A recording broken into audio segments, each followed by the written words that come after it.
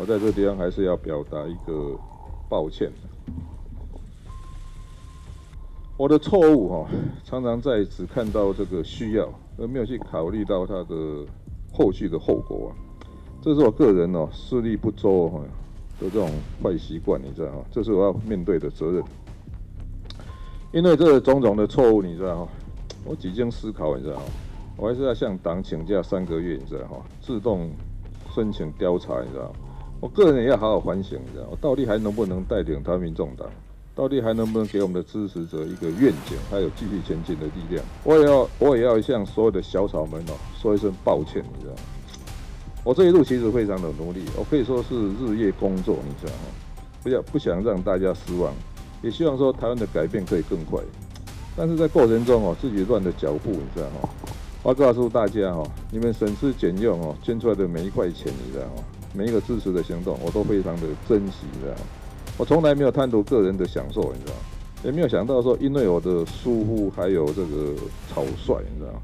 辜负了大家对我的信任，你们的愤怒、不满、责难，我都要盖瓜承受。二零二四总统大选政治现金申报的风波，还有后来发生的一连串的事件哦，重创了本人跟台民众党的声誉，你知道哈？形象也造成各界纷扰。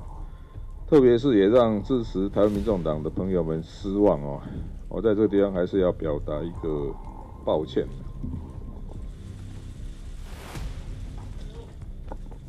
政治现金申报的部分哦，一发现问题我就下令要彻查。经过刚才的解释，大家应该都有初步的了解哦，钱都在了，他只是会计师哦登录错误，还有我们这边没有复核，你知道哈，造成了这个乌龙。那。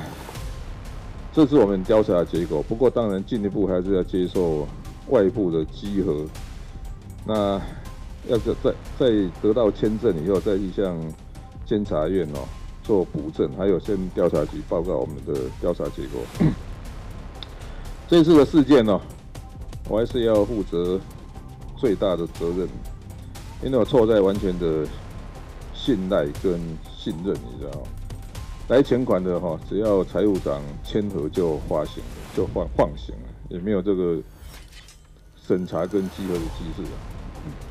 那台湾民众党从创党之初哈，可以说是举步维艰的。我们常常跟台湾的中小企业在一开始发展的一样，要一个人身兼数职。这次的大选哦，我们敬总财务长李文忠的妹妹是木可的董事长。但是他同时也兼任净总的出纳跟会计，原本想要节省人力，你知道哈，结果变成没有监督了，我们赔掉了整个财政纪律啊，也让大家失去了对柯文哲跟民众党的信任。我的错误哈，常常在只看到这个需要，而没有去考虑到它的后续的后果啊。台湾民众党需要在立法院附近有一个国会办公室。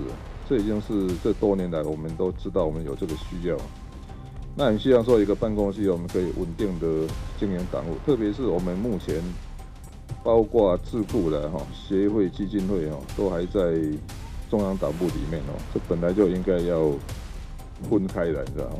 所以我当时才会用这个选举后的选举补助款哦，去买一个办公室，你知道哈，要给台湾民众党作为这个国会办公室使用。但是我都没有想到说这个动作，你知道？常常会引起这种很多的误解了哈，还有这个负面的观感。这是我个人哦视力不周哈的这种坏习惯，你知道吗？这是我要面对的责任。因为这种种的错误，你知道吗？我几经思考，你知道吗？我还是要向党请假三个月，你知道哈？自动申请调查，你知道我个人也要好好反省，一下我到底还能不能带领台民众党？到底还能不能给我们的支持者一个愿景，还有继续前进的力量？在这个地方，我要向支持者跟团队说一声抱歉了，你们都辛苦了。这一段时间哦，你们出门会面对很多的责难呐哈，甚至挨骂，你知道哈。但是你们都还努力不懈哈，因为我知道你们对台湾还是抱着一份憧憬哦，有一份热情，希望台湾有一个更好的未来。我也要，我也要向所有的小草们哦说一声抱歉，你知道我这一路其实非常的努力，我可以说是日夜工作，你知道哈。不要不想让大家失望，也希望说台湾的改变可以更快。但是在过程中哦，自己乱的脚步，你知道吗？我告诉大家哦，你们省吃俭用哦，捐出来的每一块钱，你知道吗？每一个支持的行动，我都非常的珍惜，你知道吗？我从来没有贪图个人的享受，你知道吗？也没有想到说，因为我的疏忽还有这个草率，你知道？辜负了大家对我的信任，你们的愤怒、不满、责难，我都要概括承受。接下来的三个月哈，我会静待党内的调查结果，你知道？我也好好思考，你知道怎么替台湾继续服务。我也想在这个地方拜托大家，你知道，请我给请大家给台湾民众党优秀的党公子，还有我的伙伴们哦，一个公平发展的机会，因为他们已经因为我承受了太多的压力跟责难，你知道，他们都在为了一个更好的台湾而努力。